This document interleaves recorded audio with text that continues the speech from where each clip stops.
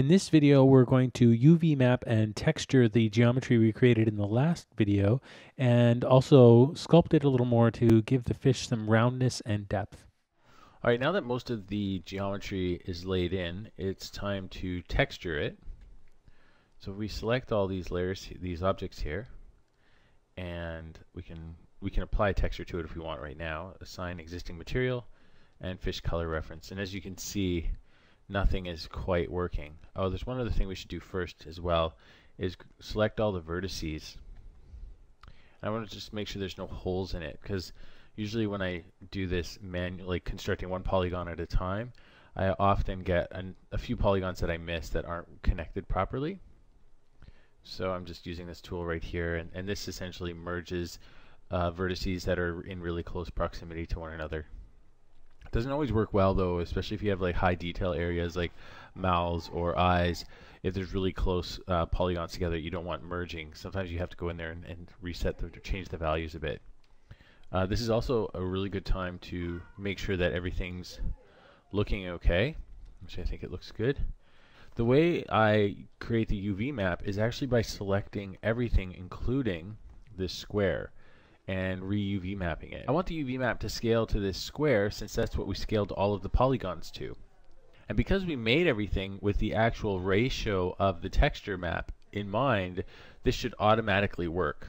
And I'm going to go to create UVs, planar mapping, and I want to do it on the y-axis because I wanted to do it up and down, and then apply, and everything should automatically fit. So now what we should have is when I select this, we can just let's just hide this guy here, you should see that we have all of our pieces texture mapped the way we want them and everything's working quite nicely.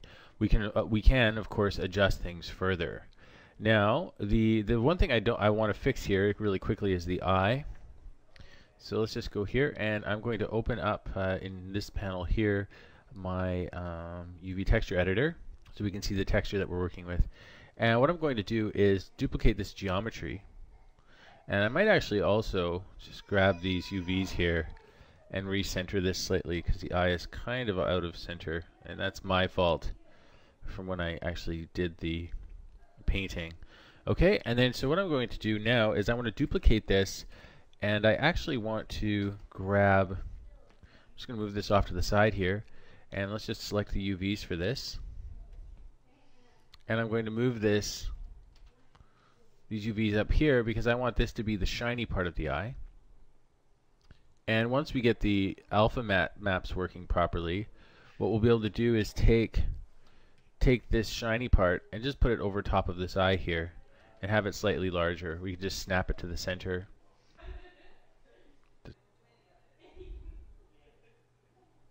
So we want to display local rotation axis. And with that displayed, what I can do is actually snap this object to that rotation axis. So now when we scale it up, it'll be exactly centered and it'll be right over top of that. But we're not going to do that for now. So I'm going to just hide that, display, transform display, local rotate, just turn that off. I'm actually going to create a a little button, I think I'm going to call it LRT Oh, there it is. Local rotation axis. I've already made one, but I'll show you how to do it right now. If you just go to display, control shift, go to transform display, local rotation axis, it'll create a little button for you. And now whenever you press that, it will show that local rotation axis. So the textures are now applied. So the, the next process is actually going to be giving this model a little bit of form shaping them up a little bit. And one of the things I do is like I keep my models pretty low res. By pressing three, I set it to smoothed out mode. Now, depending on the software application you're using, there may this may not be the way to do it. You can probably use a smooth function. So you go mesh, smooth. You can smooth the meshes out, but I don't smooth out until after I've finished sculpting the object a little better. So right now everything's flat and the next step is going to be actually rounding everyone off. Alright, so this phase here where we actually start forming the fish can be a little bit tricky. There's a ton of different ways you can go about it. Also with the fins, I want the fins to stay straight down. But anyways, you don't have to be too crazy about it. Remember, this is this is really just augmenting what After Effects would do. If you were in After Effects, first of all, you wouldn't have such a specifically laid out grid and secondly, you wouldn't be able to deform it that precisely. So that's not the goal is not to have a precise fish model. The goal is to get a little more form to this thing so that when it's moving in three dimensions, it's a little bit more believable. So there's a couple different ways you can approach this. You can use the sculpt tool. Actually, let's just get the tool pulled up here. And just get it to pull out. So I think if you just go Alt or Control, it pulls out. So you could do it this way, where you're actually pulling out the the oops on the y-axis here. Let's go pull this out. You can literally just start pulling things out that way. Um, another way you could do it, actually, let's just increase the strength here. So you, you can see how that works right there. Sort of like a ZBrush thing would work. The only problem with this method is you can get really uneven results and then when you try to smooth things so if you try to smooth it it doesn't just smooth things vertically it smooths things horizontally. So if I'm trying to smooth out the face for instance it actually like relaxes the mesh in all directions which changes the shape of the face. So that can be problematic for me. So oftentimes what I'll do is I'll use this really cool thing which is the soft select and just grab a few faces. And actually we can just use the paint select to grab the faces. Just make sure we're on face mode. So I can grab some faces and then I can just define an area of fall off that I want as you can see the areas in yellow here let's just do this the areas in yellow are where it's going to be affected the most so let's go back to the and what I want to do is quit that tool and I want to change the radius. And as I increase this, you can see what will happen is it will change the way it pulls the shape. So we can decrease the radius here. And I basically want to decrease it until I'm not including any of those fins at all. And I'm really just use, touching the body. Now what I could ultimately do if I really want to keep those fins flat is remove them off the geometry for now and then just put them back on later which I think I may end up doing but we're it may also not matter if they get deformed a little bit okay so as I pull this up now this face is a little bit of an issue so let's just try to add we'll just add some selections to it and what I could do is just also rotate this like this down but again that's too much so I think what's happening is we've got too much selected. So I'm just going to shift select some of these off. Bring that up. It's a little too much. Reduce this a little more. I can get a little bit finicky. Just get rid of some of these. I just want to, right now, my first plan here is to get the volume of the fish's body, mostly and we can just continue to adjust and refine. So I just want to get a bit of a curve on that fish. There may be better ways to do this. You guys might have better better ideas on how to actually achieve this similar effect. So I'm completely open to your thoughts on this. Um, it's always the part I struggle with a little bit. Takes a bit of time messing around to get this to work just right. Okay, and then what I'll do is select along here. Select that. So we've got that bulge. So what I'll maybe do is get this area along here and reduce the volume to 3. Let's bring this up a bit. Starting to get a little curve in there. Oops. Shift select that. Bring this up even more. So you can see we're starting to get a nice curve. It's pretty good. Not perfect, but it's still pretty good. Okay. And eventually, once I've got the rough form taken care of here, so I'm going to grab these middle ones here and run along these middles because I want this to, to come up more. So this, I'm really going to reduce that volume down and bring that up. I might even flatten this out. So let's grab the scale, flatten this down a bit, flatten that down. Bring it up. And then I'm going to rotate it down a bit so that the fish, the tail terminates.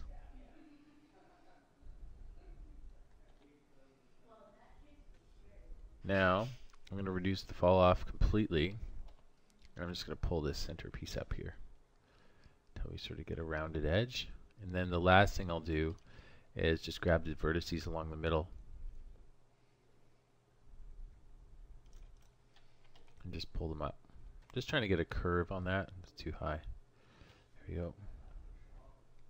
Now we can also use these the soft select obviously with the vertices, just one set of vertices selected. So if you grab it like this, we increase the radius on that, you get a similar effect as with the face. It's just a little less dramatic. So just try to reduce that so we only get what we want. Flip this out. So you can get a pretty good curve there. Might flatten that out a bit. So essentially, that's this is pretty much the process that I go through to sculpt the form out. I mean, I'm really just trying to get a subtle curve on this. So like from this point, what you could really do is you could start using, so like uh, let's say for instance I have this, this sculpted shape.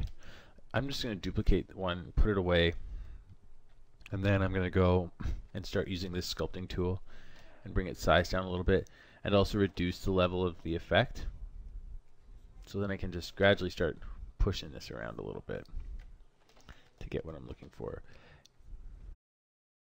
I'm just going to speed up the video here and brush through it so you can see what I'm doing but essentially the idea is the same I'm just pulling out the geometry subtly brushing over it over and over again until I get the shapes that I want a lot of modelers would probably be able to do this from the polygon stage and not have to go into this deform tool to pull the character out. I'm not a very good modeler, so I tend to have to this work this method works really well for me, especially since I'm following a very exact profile of an existing drawing. The method really does suit the style of the piece. In any other kind of project, it may not work so well. I think I've got enough to just sort of work with. I think around this eye I could use some work. This is also a good time, like if you're doing characters with eyelids, I usually bring the actual eyeball in there at this uh, around this stage. So I'll bring the actual eye in and want to make sure that I'm sculpting the eyelids around the eye properly. And again, there's probably, you guys probably all know of a million better ways to do this. I've, I'm not new at modeling, but I'm definitely, it is not my strong point. It's not something I've ever been particularly good at. Okay, so now we have this eye. Oops. And eventually, eyes, fish, I think fish have flat eyes on top. They move a little weird. Their eyes are a little bit strange. So we'll have to work on that. Actually make it look good. Probably have to put a, some kind of a deformer in there. But I'll have to sculpt this so it also fits well around the eye. So that's why it's important to have the eyeball in there right now so we can start seeing how it's looking. Uh, we can also we can also get rid of the wireframe unshaded and it starts to give you an idea of how it's going to look. And you can see that it doesn't matter that the geometry is not perfectly sculpted. Also, once I put 3, put the smoothing on it, it actually looks pretty good and we're starting to get some nice shape. You can even tell there's just some subtlety in the way it moves you can get a, a sense of the dimension that's happening on that fish, even if there were no lighting at all. Okay, so I'm gonna go, I think my next step will be like fixing up this jaw and getting it all working. The head's always a tricky one, but the body, I'd say the body's pretty solid at this point. From this point, I use a combination of vertice selection with the soft select mode enabled and varying the fall off radius, and also using the polygon sculpt tool. Because of the finer details in the face, I often find I have to go in to individual vertices and just move them manually.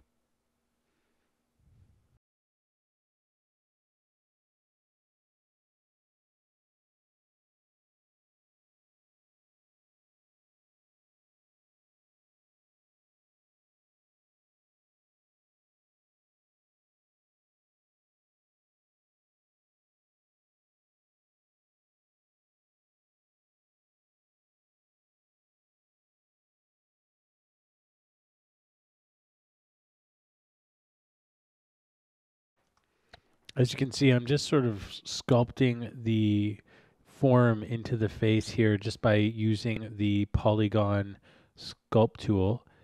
Another way I could have done this is made a more general form for the face and then push things in. This method is going super flat and then pulling things out. Either way should work fine, though I'm not sure if one way or the other would be faster or more efficient. I think it depends on the model.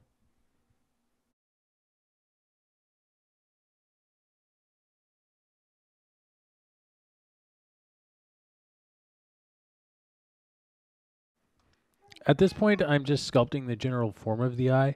Eventually, once I, I get a structure that I like, I'm going to go in and snap the vertices to vertices on the actual eyeball to round everything out and, and make it make it fit more.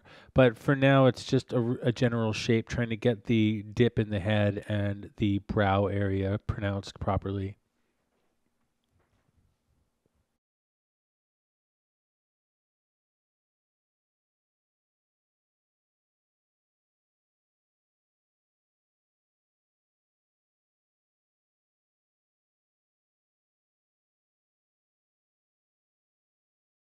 Now here I've just reduced my brush size on the Polygon Sculpt tool down very small and I'm pretty much just manually manipulating individual vertices or little tiny groups of them and this is just for fine details and refining things and smoothing out the mesh a little bit.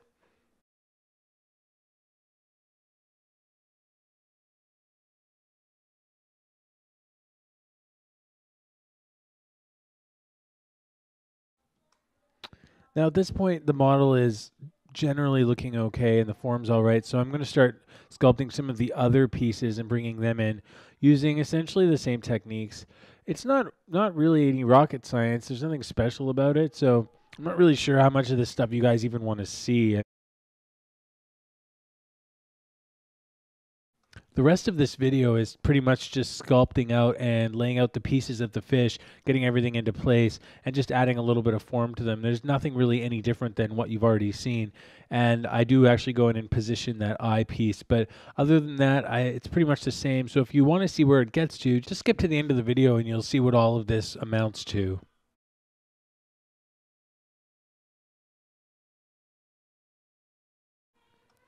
Because of the limited angle of view that you'll ever have on these characters, I don't really have to be that precise with things.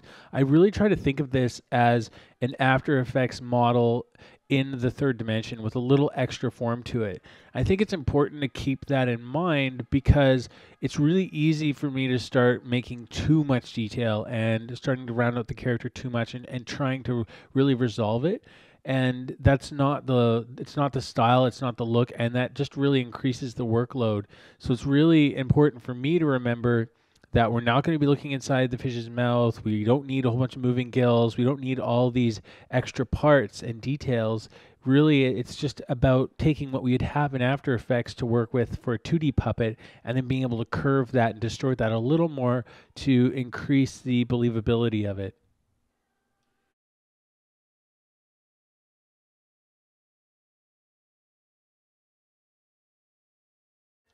At this point, I'm pretty comfortable with where the fish is, so I've deleted the other body, which I kept just in case I ruined something. And now I'm going to move that other eye piece into just on top of the main eye and just scale it up so that it that it's exactly over top because that's going to be a shiny bulb that the eye moves inside of. So I'm also increasing the roundness because I want the eye to move inside of it without colliding with the edges. So it's really important that it sits on top of the eye. And I've just hidden it away so it's not visible because it's getting in the way and I can't see the where the eye's looking. So the next stage to everything here is just renaming all the polygons. It's really important to name all of your pieces quite clearly. It's definitely extra important Maya. I always name stuff in After Effects as well as I can. In Maya, it's even more important, especially if you start getting into referring to different objects using expressions or other code.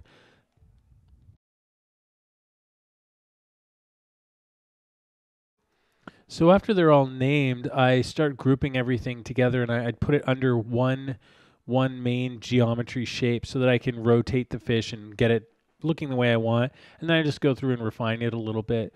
I will end up reworking this model a little bit more as I go and you'll see after I do some of the joints and the bone setup we'll we'll be fixing some things here and there but it's sort of a continuous process but other than that I think the fish is pretty much there this is the geometry for this guy in the next video, I'll show you how I go through laying out the bones for this character or the joints and what the skeleton looks like when it's finished.